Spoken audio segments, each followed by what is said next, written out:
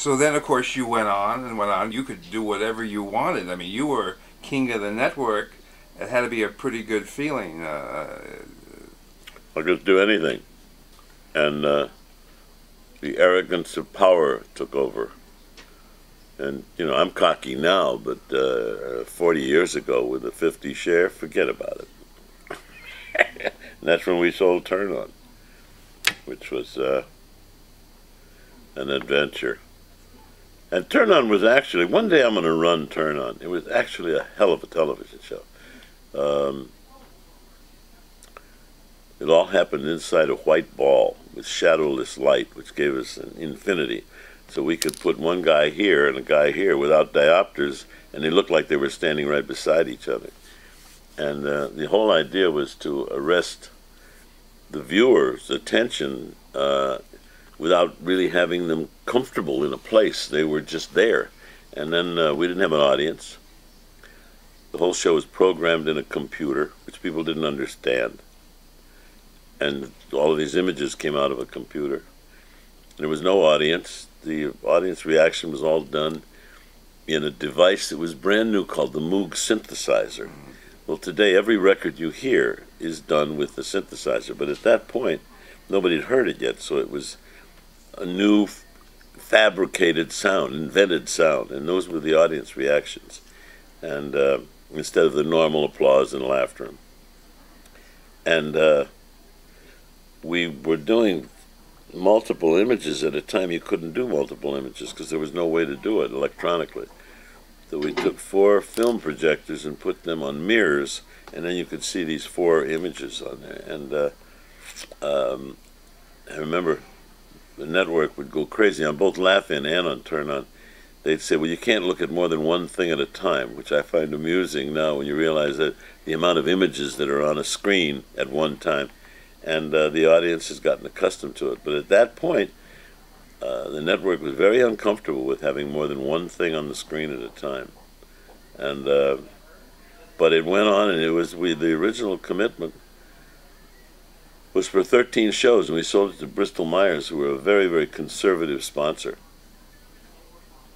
And when they saw the pilot, with Tim Conway in the pilot trying to commit suicide all through the show, uh, they increased the purchase from 13 to 16. And uh, it went on the air, and there was a guy in Cleveland. Nobody ever heard this. There was a guy in Cleveland who wanted ABC to keep Peyton Place on the air. He hated the idea of losing Peyton Place. And uh, so he got on the phone. He'd never seen the show. But he got on the phone and called all of the affiliates and said, This is terrible. We have to get rid of it. It's going to ruin your station and my station. And he started calling them, and he called the East Coast, and then he kept calling them and calling. Them. So they kept canceling the show before anybody had seen it because of this one wing nut in Cleveland, right? Who I still say belongs in Silly City in a rubber room, you know. And uh, he was very effective though. And the network said we can't do this because it'll we'll lose the network. Nobody had seen the show, and it was just this one wacko in Cleveland. And he said uh, the, they said that they had jammed the switchboard, and Tim Conway was there about six months later. The switchboard was one phone with two lines on it and a girl sitting there with terminal acne and the IQ of a chrysanthemum, and she was trying to answer the phone while she was still talking to whatever served as a boyfriend. She was the one that said the switchboard was jammed. It was two lines in Cleveland. That was right around when the the, the river caught on fire in Cleveland. You know, this was not uh, this was not Harvard. So anyhow, but it was very effective, and they called and they and the network. My deal with the network was that they wouldn't pay me anything unless I agreed to never air the shows because if you ever saw the shows, they're brilliant. They're really great. We had a lady, one girl, had a vending machine, and she put a quarter in, and you pan down, and it said the pill.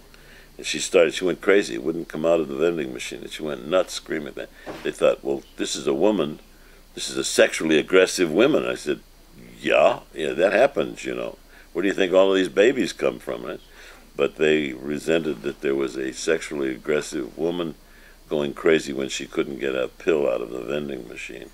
And then we had the Pope there, and the Pope would say, Peace, baby. And it was pretty it was pretty hip. It would even be hip by today's standards.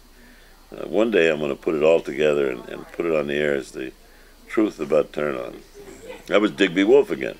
You know, we, we got all the kids from UCLA who were film students, and we gave them cameras and film to go out and shoot whatever they wanted. And uh, some of those kids became really serious cinematographers and producers. Uh, but they would do just funny films. One thing was we had uh, a little animated character come out, and uh, and he threw a rock, and a guy on this side, another little character, came out and he threw a bigger rock. Then this character came out and he threw a spear. And this character came out and he threw a big spear. This one came out with a bow and arrow. This one came out with a, a, crossbow. And they kept getting and bigger and bigger until finally this one came out and threw a bomb, and it was the atomic bomb. And then everything was quiet. And then this guy came out and threw a rock again. Right?